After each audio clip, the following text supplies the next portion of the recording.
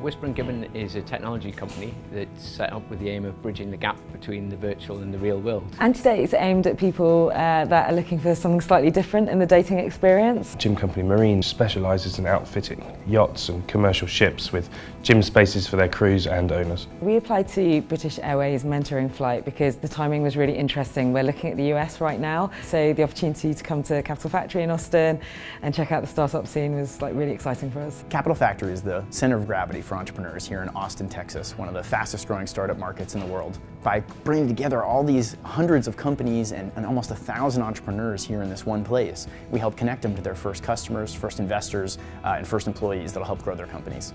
You know, I didn't know what to expect from the mentoring flight at first, but it was really a, a lot of fun. The flight was an amazing experience. It was people bouncing ideas off each other, talking to each other, and, and actually adding a lot of value and discussing lots of things when, when normally you're just sat half asleep watching a film. We were also extremely lucky to run into the mayor of Austin on the flight, which I don't think anyone was expecting, but uh, I had a great chat with him and he's a pretty inspiring guy.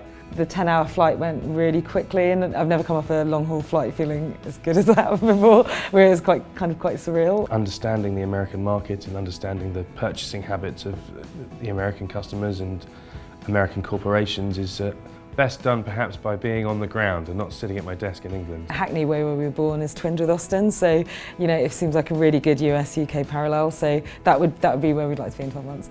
If you asked me 20 years ago, I would have thought everybody would be virtual by now, but they're not. Even though they could be, it's still really important that face-to-face -face meetings happen and people get together for real relationships. And having this direct connection to London is such an important connection for Austin companies that are trying to grow their companies internationally because every company today is an international company right from the beginning, even if they're a small business.